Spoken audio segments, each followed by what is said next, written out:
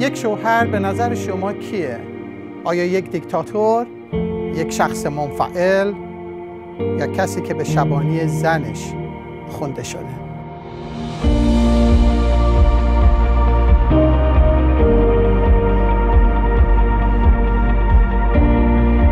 بینندگان عزیز در برنامه تحت عنوان شبانی به مثال مسیح نگاهی خواهیم داشت به افسوسیان 5 25 و مزمور 23 جایی که کمک می‌کنه ما شوهران نقش خودمون رو پیدا کنیم در شبانی کردن همسرانی که خدا به ما داده.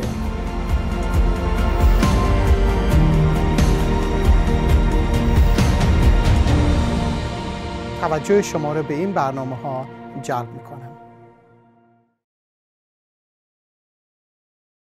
بینندگان عزیز سلام یعنی سلامتی خدا بر شما باشه و دعا می‌کنم در صحت کامل در ایمان راستین به پیش میرید و روز به روز شاهد معجزات و اعمال عظیم خدا میشید.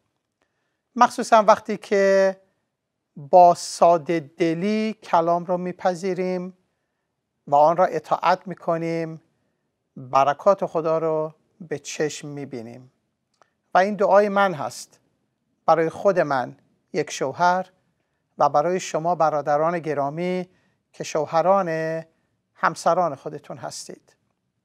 مطالعات ما تحت عنوان شبانی به مثال مسیح هدفی رو دنبال می‌کنه و اون این هست که بر اساس آنچه در مزمور 23 می‌خونیم. بر اساس آنچه در افساسیان 5 25 می‌خونیم.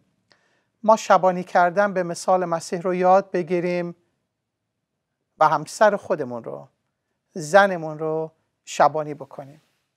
در این شبانی ما چیزهای زیادی یاد گرفتیم و امیدوارم که فقط آموزه هایی نباشه که ذهن ما رو پر بکنه بلکه آنچه به ایمان میپذیریم در دلمون جای بگیره و اون رو اطاعت کنیم. و آسون هم نیست. اگر شخصیت ما طوری هست که به راحتی قابل انتباق با این تعلیم کلام خدا نیست خب سخته. اما فیض هم هست.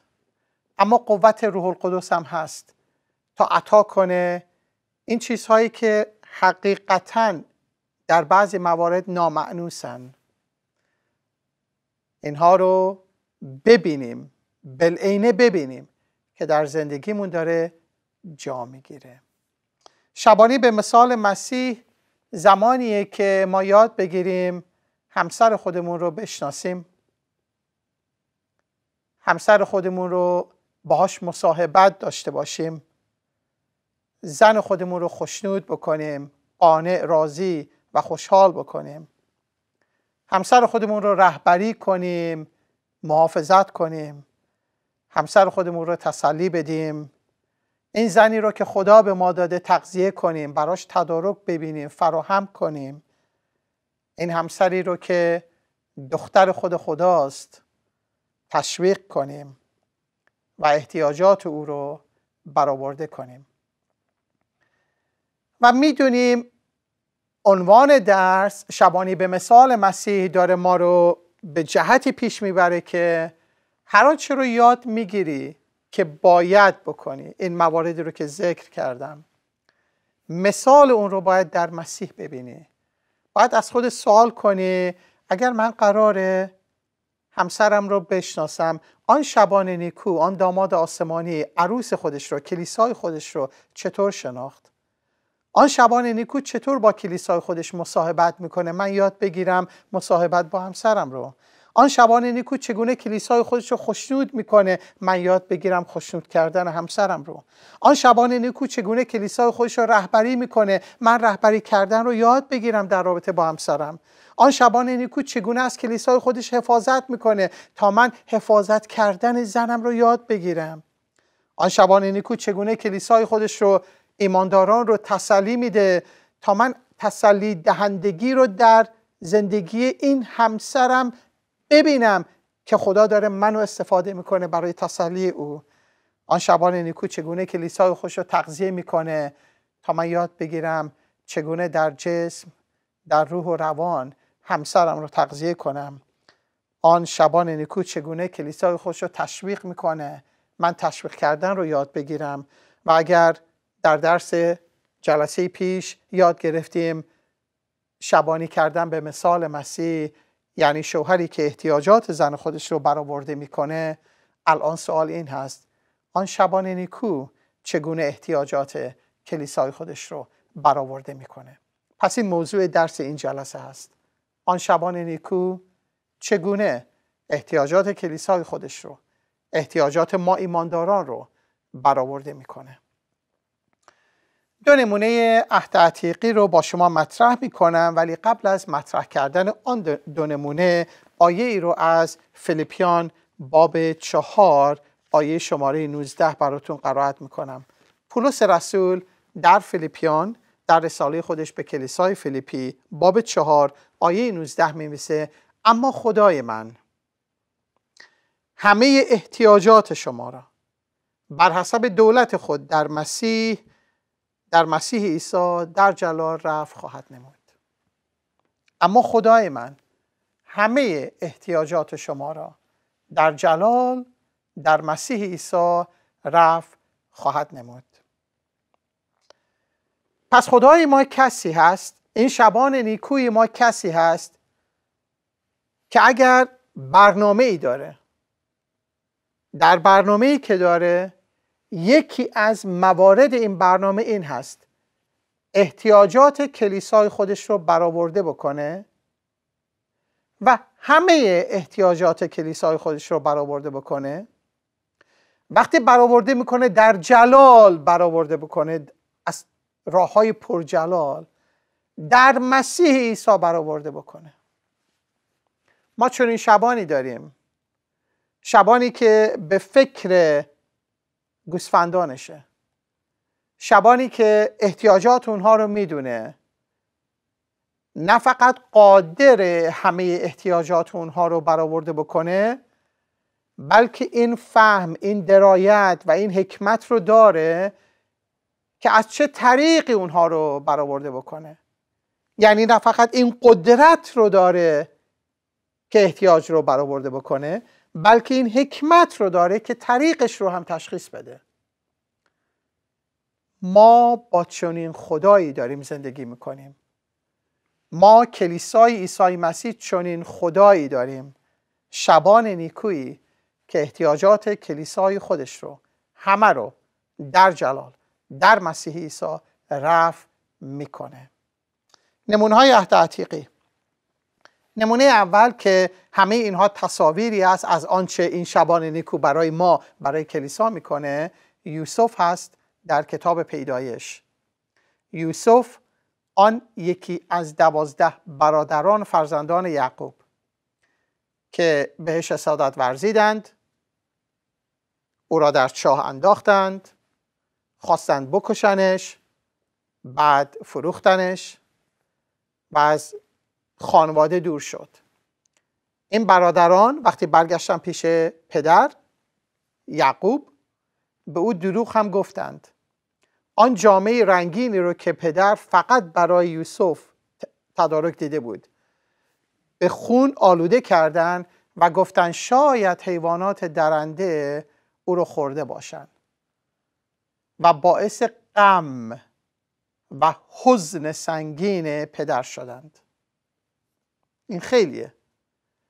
که کاری کردن که پدر سالهای سال در این فریب بمونه و باهاش غمگین بشه که پسرم رو که فرستادم کمک کنه به برادرانش حیوانات درنده خوردن و از بین رفته و من دیگه هیچ وقت او را نخواهم دید. اما یوسف نمرده. خدا یوسف رو داره هدایت می‌کنه که بره به مصر برسه. در تمام آن ناملایمات برسه به جایی که نفر دوم سرزمین مصر باشه.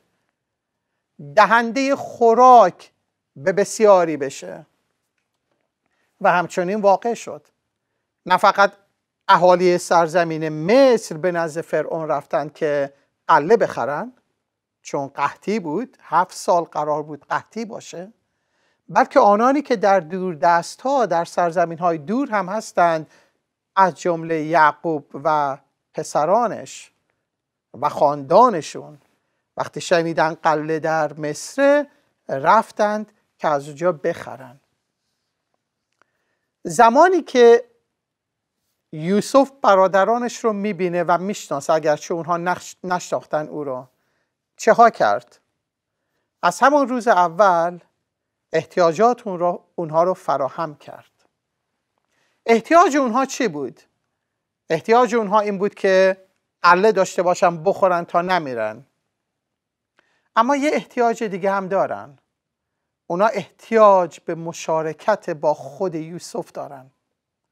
اونا احتیاج دارن از گناهی که کرده بودن توبه کنن. اونا احتیاج دارن برگردن پیش پدرشون و دروغی رو که پدر گفتن اعتراف کنن و بگن نه یوسف زنده است.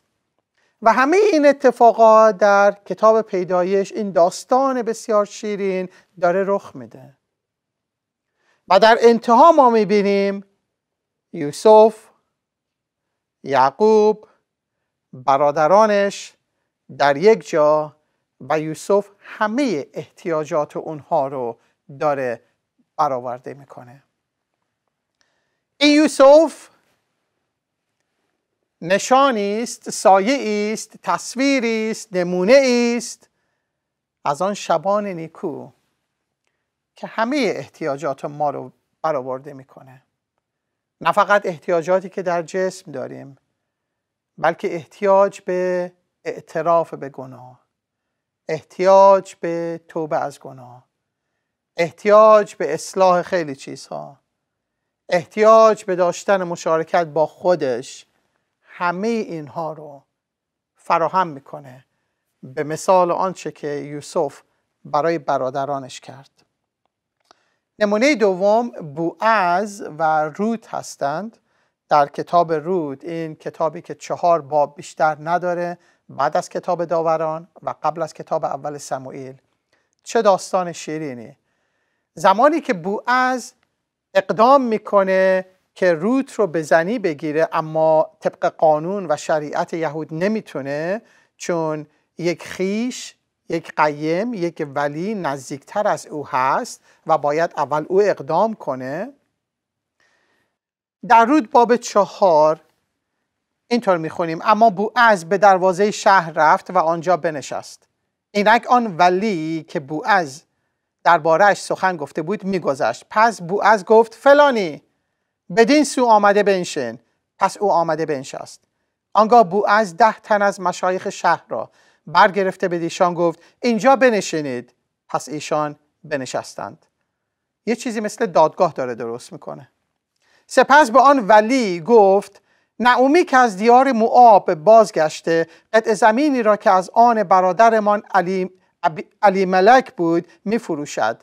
پس فکر کردم تو را از این امر با خبر سازم و بگویم. در حضور کسانی که اینجا نشستند و در حضور مشایخ قوم من آن را بخر. اگر آن را بازخرید می‌کنی بکن و اگر نمی‌کنی به من بگو تا بدانم زیرا جز تو کسی نیست که آن را بازخرید کند. و من پس از تو هستم. آن مرد گفت آن را بازخرید می‌کنم. آنگاه بوعز گفت روزی که زمین را از دست نعومی بخری روت معابی را نیز که بیوه آن در گذشته است از آن خود خواهی ساخت. تا نام آن متوفا را بر میراثش احیا کنی. اما آن ولی گفت من نمی‌توانم آن را برای خود بازخرید کنم. مبادا میراث خیش را به خطر افکنم. تو حق بازخرید مرا برای خود بگیر زیرا مرا توان بازخرید نیست. در آن ایام رسم, رسم بازخرید و مبادله در اسرائیل این بود که برای رسمیت بخشیدن به هر چیز شخص کفش خود را از پا به در می آورد می کرد و آن را به شخص دیگر می داد. این بود روش گواهی دادن در اسرائیل پس آن ولی به بوعز گفت تو آن را برای خود بخر و کفش از پا به در آورد آنگاه بوعز به مشایخ و همه قوم گفت امروز شما شاهدید که من تمامی مایملک علی ملک و تمامی مایملک کلیون و محلون را پسرانش رو از دست نعومی خریدم. همچنین روت موآبی بیوه محلون را نیز به زنی خود گرفتم تا نام آن درگذشته را بر میراث وی باقی نگاه دارم تا نام او از میان برادرانش و از دروازه شهرش محو نگردد. امروز شما شاهد باشید. از چه کار کرد؟ کاملا مطابق تعلیم شریعت عهد در حضور مشایخ اقدام کرد. یک ولی یک خیش نزدیکتر بود. او رو صدا می‌کنه میگه اینا رو برای خودت بخر ولی وقتی بخری یه چیزم هست. آن متوفا آن درگذشته بیوه داره. روت موابی روت رو هم باید بزنی بگیری. و اون شخص میگه نه نه نه من نمی‌تونم میراسم رو باطل بکنم. من قوت این کار رو ندارم. تو اون رو برای خودت بگیر. و از در حضور همه. همه آن مایملک رو بازخرید می‌کنه. که خود روت هم اونجا جا داره و روت رو بزنی می‌گیره. از چه کار کرد؟ همه احتیاجات روت را برآورده ساخت.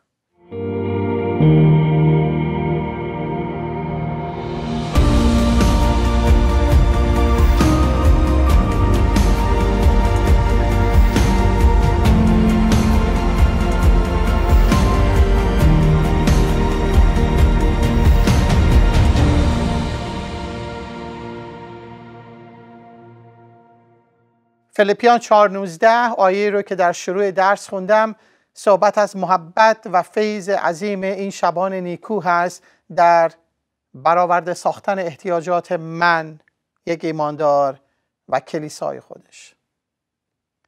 همه احتیاجات در جلال در مسیح عیسی. ما نگاه کردیم به عهد عتیق شخصی رو مثل یوسف شخصی رو مثل بوعز دیدیم. که تصاویری از خود مسیح بودن. و وقتی به عهد جدید می آییم وقتی عهد جدید رو مطالعه می کنیم می بینیم بله او همه احتیاجات ما رو برآورده ساخت. همه رو. ما را آمرزش گناهان داد. و وقتی گناهان ما را آمرزید همه گناهان ما را آمرزید. او روح القدسش خودش رو به ما بخشید. و روح القدس رو به میزان نبخشید بلکه همه روح القدس رو به ما داد. تمامیت روح القدس رو به ما داد. او عمل کرد تا کلیسای خودش رو تزئین ببخشه با عطای با عطا کردن عطیه های مختلف هدایای روحانی مختلف. یکی رو عطا کرد تا نبی باشه. مبشر باشه معلم باشه شبان باشه. و از طریق خدماتی که این عزیزان در کلیسا انجام میدن همه احتیاجات کلیسا برآورده بشه. عیسی مسیح آن شبان نیکو احتیاجات ما رو برآورده می‌کنه وقتی که به دعاهای ما جواب میده. به دعای من یک شخص به دعای ما یعنی من و همسرم و به دعای ماها یعنی جمع ایمانداران و کلیسا.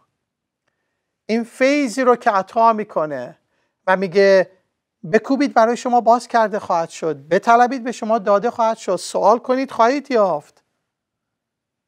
و عطا می‌کنه. میده.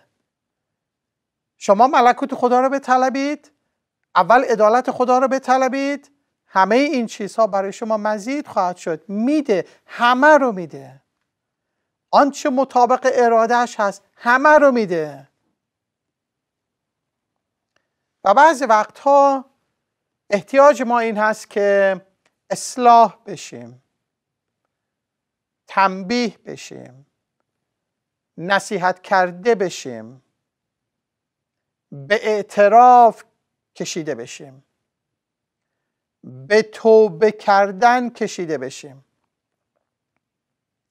این احتیاج ما رو هم در وقت ضرورت برآورده می‌کنه. و این از محبت پدریشه. هر که را دوست دارد توبیخ می‌کنه. چگونه احتیاجات منو برآورده می‌کنه؟ نه فقط با دادن خودش تا بر روی صلیب جسمش پاره بشه خونش ریخته بشه و من با خوردن آن جسد و آن خون حیات جاودانی بیابم بلکه در هر روز زندگی زمینی خودم روح او در من ساکن بشه معلم من بشه. هادی من بشه تسلی دهنده من بشه قوت بخش من بشه کلامش رو به یاد من بیاره. و عطا می‌کنه اطراف من افرادی باشن که اونها منو بلند کنن منو تشویق کنن منو در ایمان حل بدن که برم جلو. بله. همه احتیاجات ما رو برآورده می‌کنه.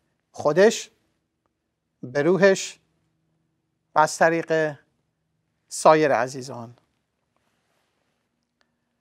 خدای ما احتیاجات ما رو برآورده می‌کنه از یک طریق دیگه هم. با ماست. همیشه با ماست. ما بعض وقت فکر می‌کنیم الان که کار خوب انجام میدم خدا با منه. وقتی که لغزش خوردم وقتی که خطا کردم وقتی گناه کردم دیگه خدا با من نیست. نه برعکسه. خدا همیشه با ماست. در تمامی تنگناها افتخیصها پستی ها و بلندی ها در ایمان و بی ایمانی در قوت و ضعفمون در تمام شرایط. چون قول داده تا انقضای عالم با شما خواهم بود. وعده داده تو را هرگز رها نکنم. نگفت اگر خوب در ایمان رشد کنی با تو هستم. اگر خوب در ایمان رشد نکنی تو را رها خواهم کرد. میگه هرگز تو را رها نخواهم کرد. احتیاج منو اینطور برآورده می‌کنه. گفتم برعکسه چون این ما هستیم که با او نیستیم. او همیشه با ماست. این ماییم که بعضی وقتها با او هستیم برخ مواقع ما نیستیم. یعنی چی؟ بودن او با ما هرگز ترک نکردن ما احتیاج ما رو رفع می‌کنه. وقتی که با او قدم برمیداریم بودن او با ما احتیاج ما رو رفع می‌کنه تا درک کنیم. این ایمان این برکت مال من نبود از آن او بود جلالش از آن اوه. من اشتباه نکنم ها.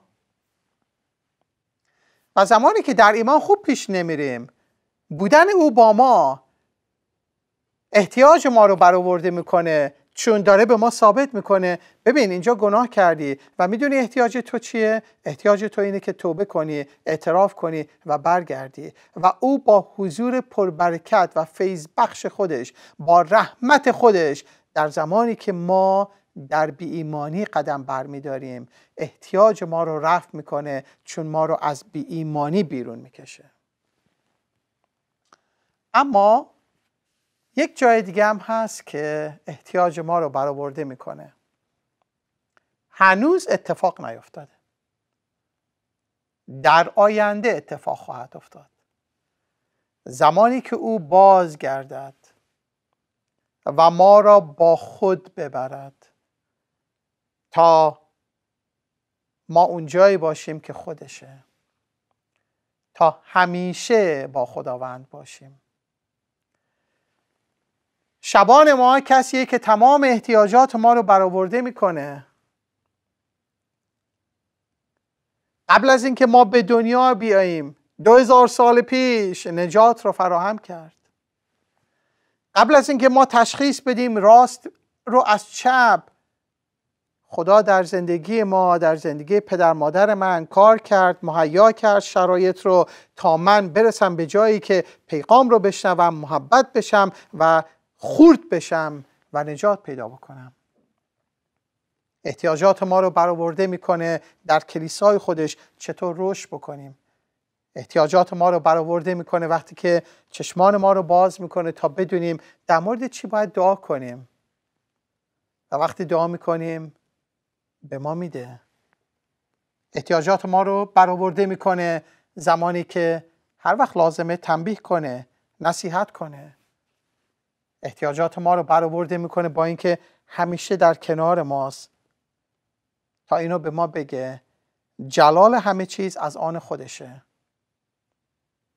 من اینجا به یه نتیجه رسیدم و این رو از صمیم قلب گفتم و میگم.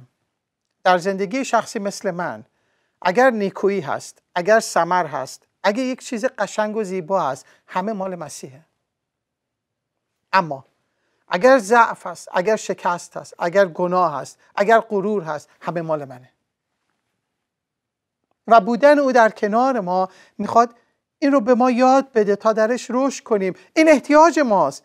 داره اونو برآورده می‌کنه که بگیم در پیروزی ها جلال از آن توست در شکست ها من مقصرم. و چنان که گفتم خواهد رسید آن روزی که همه احتیاجات به طور مطلق برآورده خواهد شد. زمانی که از این جسم ما رو آزاد بکنه به نزد خودش ببره. بر سر سفره عروسی بره با او بنشینیم و تا به ابد با او باشیم. خدا رو شکر. ای عزیزان دلمون رو بدیم به کلام. کلامی که تعلیم میده. چگونه این شبان نیکو؟ احتیاجات ما رو برآورده می‌کنه. یاد بگیریم چگونه من شوهر احتیاجات همسرم رو برآورده بکنم.